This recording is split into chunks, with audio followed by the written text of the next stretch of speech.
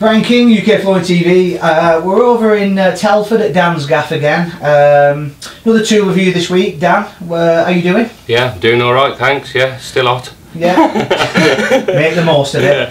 Uh, Dan, what we're doing this week? What tools are we review, uh, reviewing this week? Yeah, we're going to do the creasing and tucking tools. Um, we got uh, one here, this uh, Roberts one, which we've just taken out of the box. We've never touched one before, so you'll be getting a first time review off that. This is a Roberts rolling carpet tucker.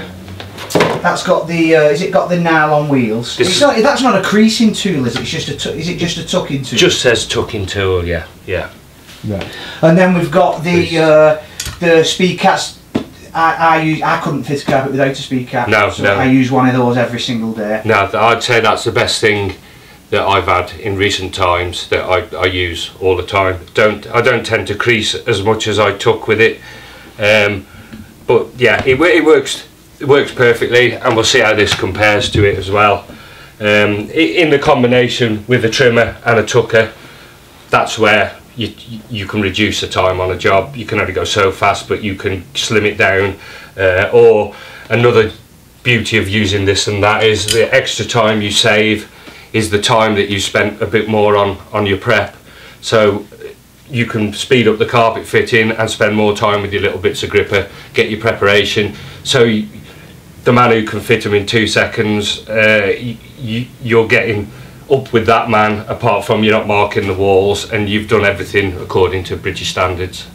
With the speed cat, um, same with me. I use it to crease, but I don't use it to tuck. No. I don't know why. I know, I, just and I do, the, and I do the opposite. Yeah, yeah. I mean, basically, we'll have, we'll have a look at them first. We've just taken this one out of the box. It's got a nice base plate on it, comfortable handle. Um, it's got three nylon wheels. They're all at the same height as well. These wheels are. Whereas with the Speed Cat, it's got three metal wheels, and the wheels actually go up in a graduation. Is that showing up on there? So you get a deeper one, a middle sized one, and a smaller one. When I first got this, being a left handed person, I couldn't work out why one day it worked perfectly, the next day it didn't. Well, that's because it does have to be pushed from right to left.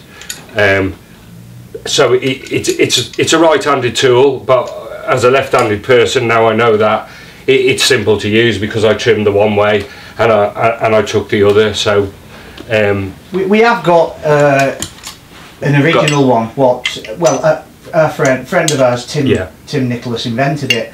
Uh, that was made for left and right-handed because Yeah. you had the adjustable nuts. Yes, this this this has got some nuts that you can adjust the plate in or out.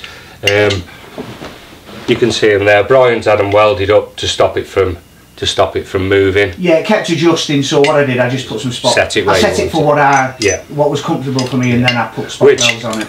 Which, if you look at it, you've actually set it exactly the same as they decided to set the fixed one. So Yeah. yeah, yeah. Um, so we got we got both of these. Um, we'll, we'll we'll trim an edge. Well, actually, we'll show. If we get the stretcher. Basically, the angle you've got on here. That's a 10 degree angle. So if, if you're doing a stretch at 10 degrees, got that parallel with that with the uh, with the side of the speed cat.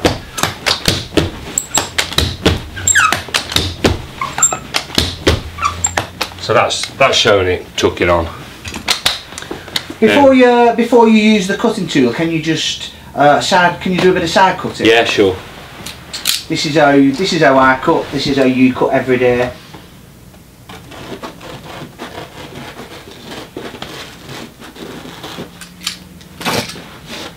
We'll cut a bit more with the uh, with Brian's trimmer.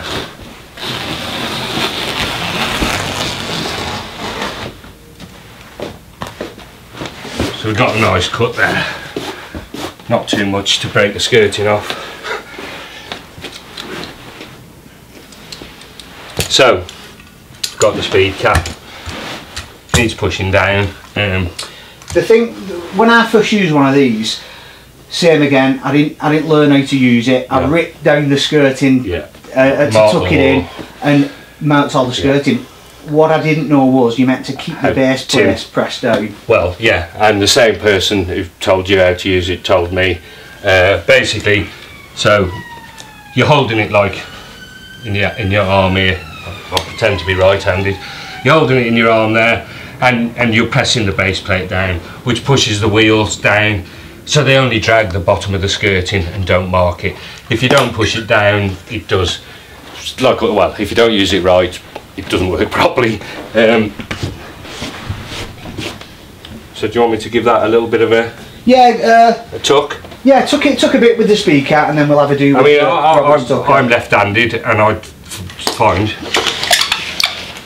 to use it like that is it is perfect. Um, so it's got a graduated tuck there, so you're coming in, it's pushing it a bit, next wheel a bit more, last wheel gives it the finish.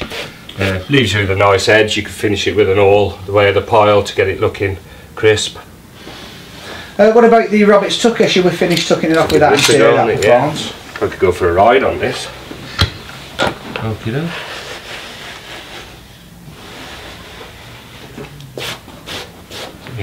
no trouble at What's all. that like? Yeah. Works nice, yeah. Did- but disadvantage to that for me. Uh, oh, actually, you can see there. Look, Brian, you can. Uh, uh, it hasn't just got a fixed height on the wheels, so this will go left or right-handed. Has that camera got it? Yeah. It's got slots on the wheels. You can graduate your wheels exactly. I was just, I didn't want to say because someone would uh, kindly let us have this to use. I was going to say it hasn't pushed it down and tucked it as crisp as this. So you can adjust the wheels to you. If I'd adjusted like the wheels, it would. Yeah, yeah. Um, so yeah, no problem with that. Um, speed cat creasing and tucking tool. That's what the cat stands for Yeah. um, does two jobs. This I can see doesn't mark the skirting. It rolls quite nice. Got not a bad thing to say about it. So would you give that the thumbs up? Is it something you'd buy? Yeah, um, I, I own this, so I've got no need to upgrade on it. Uh, again, it's got nylon wheels. I think you can buy the wheels replacements. I've seen people asking, and it adjusts. So yeah, on first contact with this, and it, it, it rolled along there nice. Yeah, they're both as good as each other. Um, I prefer metal, uh, and and I can crease with this one as well. I'd, I'd assume you could probably use that to crease, but I, I I don't know how long it'd last if you'd break the wheels off, putting a bit of pressure trying to. Uh, but yeah, they're, they're both as good as each other. Which, uh, if you, I'll keep you waiting now two seconds. When you saw how easily we, we went along the wall with that, I mean, this is what some people use.